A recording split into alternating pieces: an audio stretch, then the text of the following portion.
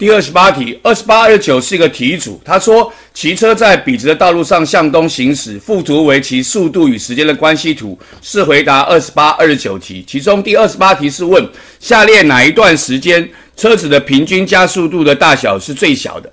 那么这个图上面只有时间，没有速度的大小，所以我们不可能用计算的方式算出来每一段的平均加速度有多大，然后去比较它的大小。所以我们只能够用 VT 图的观念。VT 图的观念叫做直线求加速度，面积求位移。